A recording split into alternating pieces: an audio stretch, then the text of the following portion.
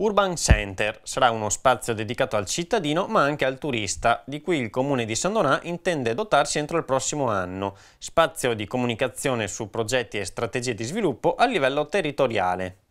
La settimana scorsa la Giunta ha deliberato l'istituzione di un Urban Center, che è un luogo fisico intendiamo proprio praticamente gli spazi che eh, grazie alla disponibilità del consorzio di bonifica potrebbero potranno essere occupati a partire dal mese di gennaio al piano terra in parte all'attuale caffè borsa dove i cittadini potranno sapere che cosa sta portando avanti l'amministrazione in termini di politiche sulla, sulle materie del, appunto, dello sviluppo urbano e quindi i progetti sulla cosiddetta Porta Nord e quindi sul polo intermodale, i progetti per quanto riguarda il centro e la sua rivitalizzazione, per quanto riguarda le zone industriali ad esempio, oppure la scelta già assunta di restituire alla campagna 30 ettari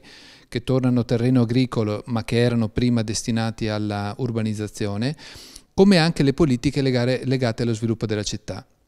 Alcune di queste informazioni saranno chiaramente ad uso di turisti, visto che da un anno San Donà è attraversata dalla ciclovia dell'amicizia che partendo da Monaco già sta producendo i propri effetti per chi decide di arrivare a Venezia in bicicletta, costeggiando eh, diciamo, il Piave nel tratto che da Noventa porta poi verso Caposile verso eh, Punta Sabbioni. Significa che anche il turista avrà la possibilità, come accade in molte città, soprattutto turistiche ma non solo, di trovare una I di information dove potrà acquisire informazioni su dove dormire, dove mangiare, che cosa vedere di interessante nella nostra città. Oltre al luogo fisico in cui poter richiedere informazioni, verrà predisposto anche un apposito spazio digitale, integrando le varie piattaforme con quelle del progetto WeGovNow del programma Horizons 2020, che combina le caratteristiche dei social network con strumenti per la formazione dell'opinione collettiva e il riutilizzo dei dati del settore pubblico, un ulteriore strumento per coinvolgere il cittadino a partecipare attivamente alla vita della città in un mondo sempre più digitale. Sì, per il cittadino, allora intanto conoscere quali sono le occasioni per partecipare a eventi, ma anche per prendere parte a dei gruppi che possono essere associazioni culturali piuttosto che di volontariato, come anche di conoscere quali sono le opportunità offerte dal centro, sia nella sua dimensione pubblica, e quindi uffici, servizi, cito ad esempio l'ufficio biciclette, piuttosto che lo sportello cosiddetto Casa Buona, per chi vuol sapere che vantaggi ci sono oggi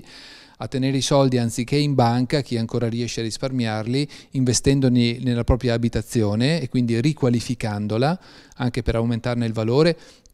per diminuire i costi, ma soprattutto per produrre meno CO2, che è una sfida che interessa tutti eh, a vantaggio delle prossime generazioni, ma anche per quale può essere l'offerta di soggetti privati che eh, possono chiaramente in questo modo far conoscere qual è la possibilità di partecipare ad eventi o anche aspetti commerciali, tant'è che su questo progetto di riqualificazione del centro eh, abbiamo come partner le associazioni di categoria che sono ASCOM, che sono Confartigianato e quegli altri soggetti che rappresentano eh, categorie particolari.